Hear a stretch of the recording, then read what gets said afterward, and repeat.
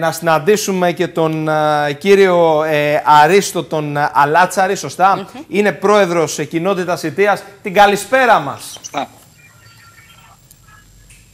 Καλησπέρα, καλησπέρα στην εκπομπή σας, καλησπέρα σε όλους τους τηλεθεατές Λοιπόν. σας, καλησπέρα σε όλη την Κρήτη, σε όλη την Ελλάδα. Σήμερα μας κάνετε πρεμιέρα ποδαρικό στην εκπομπή. Η πρώτη σύνδεση, ο πρώτος καλεσμένος είστε εσείς να μας μεταφέρετε το κλίμα εκεί από το παραλιακό μέτωπο.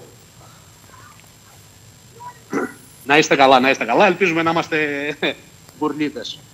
Βέβαια, βέβαια. Λοιπόν, Ε, για πείτε μας. Τι συμβαίνει στις... Λοιπόν, ε, αυτό που βλέπω εγώ στο παραλιακό μέτωπο από αυτή την εποχή είναι προετοιμασίες για την καλοκαιρινή σεζόν που προμηνύεται να είναι δυνατή και μακάρι να, να συμβεί.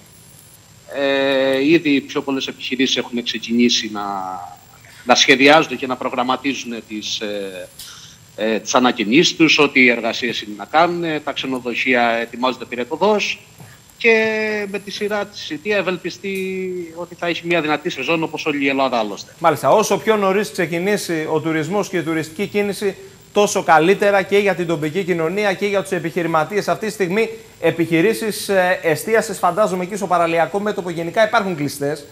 Ε, βρισκόμαστε και στο στάδιο των ανακοινήσεων, σωστά; Σωστά, σωστά. Ε, κλειστές υπάρχουν λόγω του ότι ούτως ή άλλως είναι κλειστές το χειμώνα. Αυτό Ευτυχώς, λέω, αυτό βέβαια, που ναι. παρατηρείτε είναι ότι δεν, ε, δεν κλείσαν επιχειρήσεις λόγω του κορονοϊού και αυτό είναι πολύ ευχάριστο. Μάλιστα. Λοιπόν, ε, τι να πούμε, να σας ευχαριστήσουμε πολύ. Αν θέλετε να, να, να γυρίσετε και λίγο την κάμερα, να κλείσουμε με εικόνα εκεί από Σιτία και πρόεδρε θα τα ξαναπούμε σύντομα. Ευχαρίστως ό,τι θέλετε. Μια Λοιπόν. γεύση αποσυτεία. Σας περιμένουμε όπως κάθε χρόνο να, να μας επισκεφτείτε. Βέβαια, Να βέβαια. είστε καλά. Εκπληκτικό εκεί αυτή είναι μία στη θάλασσα, είναι βάλια, Ναι, ε, είναι πολύ, ονειρική. πολύ όμορφη εικόνα.